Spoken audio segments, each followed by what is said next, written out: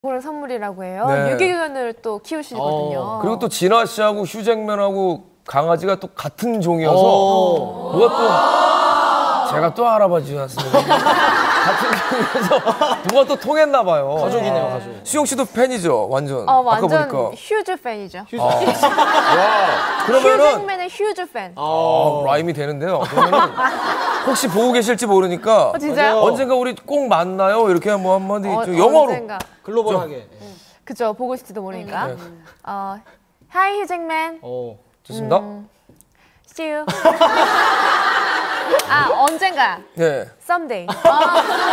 정말 영어 참 잘하시네요. 핵심 핵심 영어. 뭐야? 뭐지? 어. 뭐, 뭔가요? 어 이거 어. 어 뭐야 이거. 아니, 무, 무서운데? 이 음악이 갑자기 왜 흘러나올까요? 듣는 순간 소름이 돋고 머리카락이 쭈뼛 서는 연예계의 오싹한 이야기를 지금 시작해요. 여름 스페셜! 하지 마, 하지 마. 자, 무서운 경험 지금 함께 하시죠. 하지 말라고. 어렸을 때 겪었던 일인데요. 새벽에 너무 덥고 한여름이었거든요. 이렇게 이렇게 쭈그려 앉아서 어렸을 때니까 아 목마르다 이렇게 생각하고 있었는데 엄마가 뒤에서 뭐하니 빨리 자라고 뒤에서 이렇게 끌어당기시는 거예요. 근데 이상하게 되게 소름이 돋는 돋는 그런 느낌이었어요. 그래서 침에 자고 딱 눈을 떴는데 보니까 엄마랑 아빠가 없는 거예요. 알고 보니까 엄마랑 아빠가 상가집에 갔다 오- 오셨고 저는 그날 밤 혼자 잠을 잤어요. 아직도 그걸 모르겠어요. 맥박이 빨라지고 간담이 서늘해집니다. 더위에 지친 감각을 자극할 아찔한 시간. 소름 돋는 재미가 있습니다. 스타가 전하는 오싹한 이야기.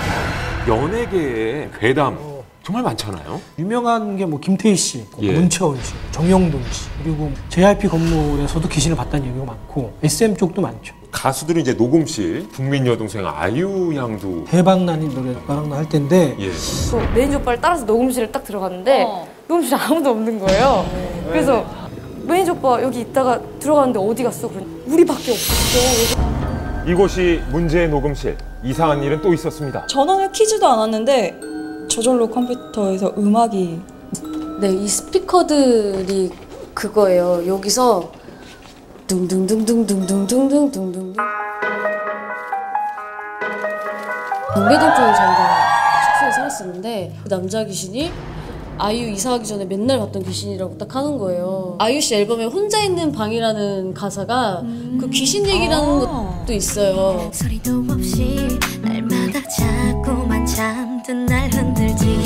그 생김새가 정말 이렇게 원빈 아니, 이런 꽃미남 귀신이었다고요? 그 정도로 너무 잘생겼어요. 네. 내 아이 씨도 굉장히 행복했다고 했는데 그 귀신 양다리 아니에요?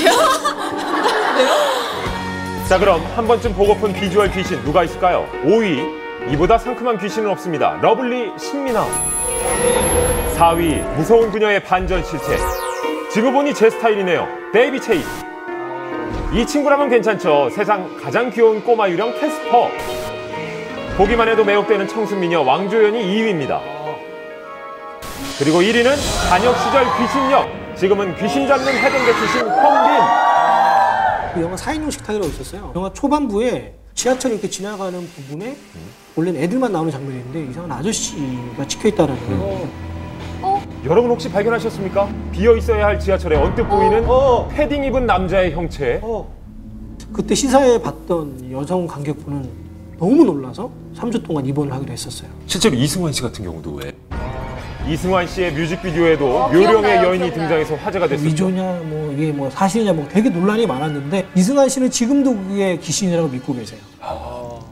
실화를 바탕으로 한 영화 실미도. 실제 촬영지 실미도에서도 미스터리한 일들이 많았습니다. 폰카로 이제 셀카를 찍었는데 그 뒤에 제 뒤에 묘한 형체의 이 창 틀에 그 사람의 형태 같은 게 찍힌 적이 있었어요. 세트용으로 만들어 놓은 가짜 창이지 거기는 도저히 사람의 형체가 그림자로라도 있을 수 없는 창인데 그렇게 찍혀 있더라고요 사진에. 특히 공포 영화에 이런 경우가 상당히 많은 것 같아요. 저 공포 영화 항상 빠지지 않죠. 뭔가 알 수 없는 이야기들이 항상 있죠. 박보영 씨가 박보영 씨. 나왔던 이 미확인 동영상이라는 이 공포 영화가 있었어요.